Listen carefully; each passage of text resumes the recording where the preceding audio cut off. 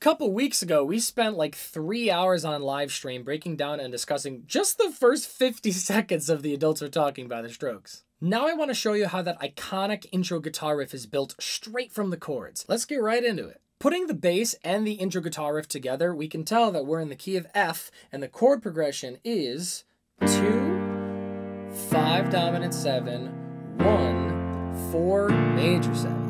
It's a great, very compelling progression. It has a sense of perpetual motion to it. Just when one tension is resolved, another tension is introduced, either harmonically or structurally. Classic Casablancas. Let's take a look at what notes constitute these chords. The 2 has Re, Fa, La, scale degrees 2, 4, 6. The 5 dominant 7 has Sol, Ti, Re, Fa, scale degrees 5, 7, 2, 4. The 1 has Do, Mi, Sol, scale degrees 1, 3, 5. And the 4 major 7 has Fa, La, Do, Mi, 4, 6, 1, 3. It's also worth pointing out that this is a sequence. From the 2, we ascend a fourth to the 5, and then we repeat that shape a step down. From the 1, we ascend a fourth up to the 4. It's super satisfying and really adds to that perpetual motion. Now the bass plays all the root notes of these chords, laying the foundation for the guitar riff, which is what we're really concerned with today. So let's take a look at what that is doing. Fa fa re re re fa fa re re re re fa fa ti ti ti fa fa ti ti ti re mi mi do do do mi mi do do do re mi mi la la la mi mi la la la mi fa fa. Rinse and repeat. During the 2 chord, it bounces back and forth from Fa to Re, the third and root of that chord. During the 5 dominant 7, it bounces back and forth from Fa to Ti, the 7th and 3rd of that chord. Note the repetition of Fa across that harmonic change. We do have a really quick approach note of that Re before we move to the 1. Re is also in the 5-7 chord, so we have been strictly playing chord tones thus far. Onto the one, we have mi and do, the third and root once again. We do repeat that re approach tone, our first and only non-chord tone. But it hardly reads as a non-chord tone because we're repeating it rhythmically identically to how it appeared during the 5-7 when it was a chord tone. Your ear is already familiar with it, so it feels right at home. Then, during the 4 major 7, we have mi and la. Notice here across this chord change, not only do we return to mi similarly to how we returned to fa before, but we are also once again playing the seventh and the third. The progression isn't the only thing that's a sequence. The riff is also repeating a structure as a sequence inside of the larger sequence. Chord, up a fourth, chord, up a fourth, third, root, seventh, third, third, root, seventh, third.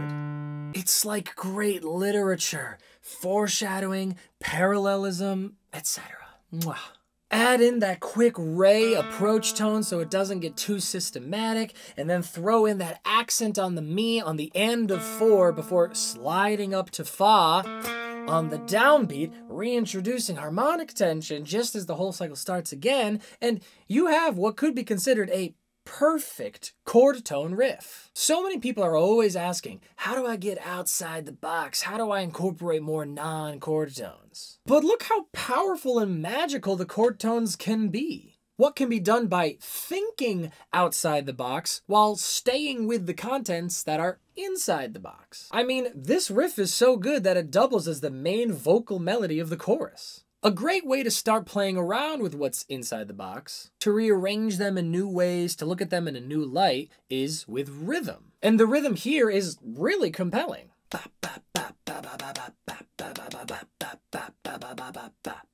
One, two, three, four, and one, and, and, and four, and one, two, three, four, and one, and, and, and four, and. This is really great just on its own. Once again, infinitely loopable. Focuses on the on beats for a bar and then focuses on syncopation for the next. Back and forth in perpetuity, giving it an incredibly bouncy feeling. Something very striking about this is the interaction between the rhythm and the notes. The way they alternate so decisively, it kind of feels like two voices, both in the musical and metaphorical sense.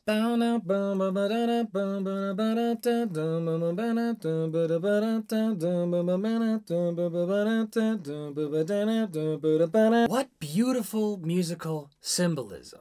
The music is perfectly suited to represent and invoke the title. But it can go deeper. We don't see them taking turns corresponding with the on-beat and syncopated measures of the rhythmic motif. Instead, they always alternate in the middle of these measures, almost as if they're interrupting each other. Looking at the title and the lyrical content, I would interpret the song as being about encapsulating the struggle most adults experience in facing the volatile, intense socio-political climate of the US in recent years analogizing that experience to that of a child being brushed off. Shush, honey. Shh, the adults are talking not being allowed a say in the matter despite the fact that it directly and profoundly affects them. But please don't get me started on that. Anyway, this melody is basically a representation of that arguing back and forth put into a guitar riff. Everyone loves that dueling guitar part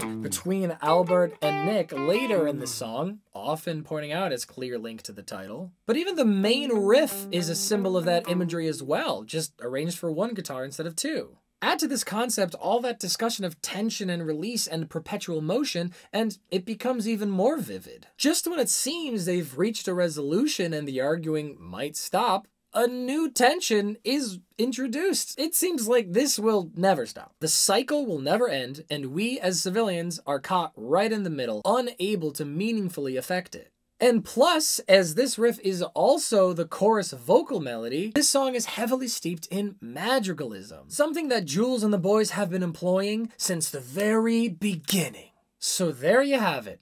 How do you make a riff from a chord progression? Identify individual notes from the chords, utilize a compelling rhythm, arrange them in a way that symbolizes the meaning of the song. Bada bing, bada boom.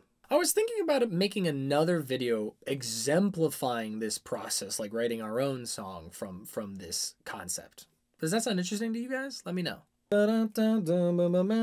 I'm sure some of y'all have noticed that my output has been inconsistent lately. And honestly, it's because I had built myself up to a level of production value that was simply unsustainable for my size as a channel. So I've decided to scale back that production value and work back up to it as it makes sense. Committing to a new production model that I think will be much more sustainable for myself as we move forward. Live streaming real-time, in-depth analyses regularly, and then making shorter, edited videos from the most exciting and applicable things from those live streams. I'm still figuring out the best schedule for live streaming, so check my community posts for announcements on those. But the next one will be part three of the Adults Are Talking on Monday, December 4th at 7 p.m. EST.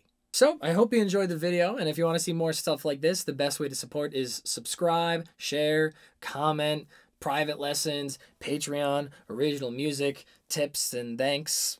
And I sincerely hope that you learned something today that you can take with you and utilize in your own music.